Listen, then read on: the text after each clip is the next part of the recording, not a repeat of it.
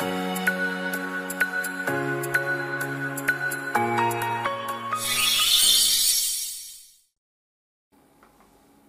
い、こんにちは、レトスノーノです。今回なんですけども、債務者の危険負担等536条、民法536条について解説いたします。まず、今回1項と2項あるんですけども、1つずつですね、条文を読んでいこうと思います。まず第1項ですね。当事者双方の責めに帰することができない自由によって債務を履行することができなくなったときは、債権者は反対給付の履行を拒むことができる。これが第1項の内容になります。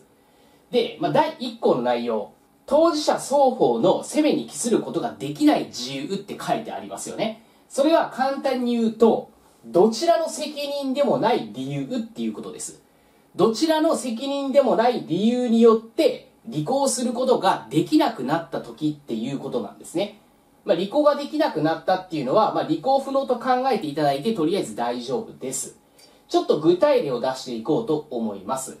例えば A さんと B さんの間で A 所有の建物の売買契約を締結しました。で、まあ、引き渡しは後日行うことにしたと仮定します。で、契約した後、どちらの責任でもない理由によって建物が滅失した。例えば、大地震によって建物が倒壊してしまった。こういった場合ですね。こういった場合、A さんは引き渡し債務を履行することができなくなっちゃいますよね。もう建物がないわけなので、A さんは建物の引き渡し債務の履行ができなくなったということですよね。この場合、債権者である飼い主は、反対の給付の履行を拒むことができるんですね。反対の給付っていうのは、代金の支払いのことです。これを拒むことができるっていうのが1個の内容なんですね。で、なんで B さんが債権者なのかというと、今回建物がなくなっているわけです。で、建物についての引き渡し債務っていうのは債務者が売り主 A さんですよね。で、それに対して飼い主は引き渡し債権を持っているわけだから、まあ、売り主に対して引き渡してくださいって請求できるわけだから、債権者なんですね。建物を引き渡してくださいと主張できる権利を持っているから、B さんが債権者、飼い主が債権者となります。で、反対の給付っていうのは、引き渡しに対して何かを給付する、反対に給付する、つまり代金を支払うこと、これが反対の給付の履行なんですよ。これを拒むことができますよっていうのが一個の内容なんですね。で、そうすると、売り主を見てみると、売り主は建物なくなっちゃってますよね。地震によってなくなっちゃってる。で、しかも B さんから代金をもらうこともできないということで、大地震によるデメリット、いわゆるこれ危険なんですけども、これを負担したことになりますよね。つまりここの題名でもある債務者の危険負担って書いてある通り、危険負担は債務者が負うんですよっていう話になるんですね。今言ったように建物の引き渡しの債務者が売り主ですよね。これが1項の内容になります。で、続いて2項の内容ですね。2項の本文、なんて書いてあるかというと、債権者の責めに帰すべき自由によって債務を履行することができなくなったときは、債権者は反対の給付を拒むことができない。このように規定されているんですね。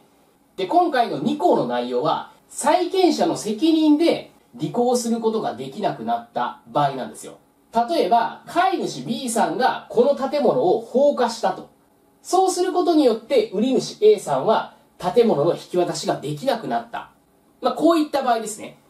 債権者の期すべき自由っていうのは、債権者が原因でって言い換えてもいいですし、つまり履行不能の原因が債権者にある場合です。そういった場合、債権者は反対の給付の履行を拒むことができない。つまり、飼い主は代金の支払いを拒むことができないって書いてあるんですね。これ当然ですよね。飼い主 B が原因でこの建物なくなっているわけだから、B さんが悪いわけですよ。だからちゃんと契約通り B さんは代金を支払ってくださいね。建物の引き渡し受けることができなかったとしても、それは B さんが悪いわけだから、B さんはきちんと代金を支払ってくださいね。代金の支払いを拒むことはできませんよ。っていう内容です。まあ、こちらは当然の内容ですよね。こっちですね。こっちについては、危険負担は債務者が負うんだと。まあ、危険負担っていうのは、どちらの責任でもない理由で、不利益が生じた場合、その不利益っていうのは、債務者責任負ってくださいねっていうのが1項の内容になります。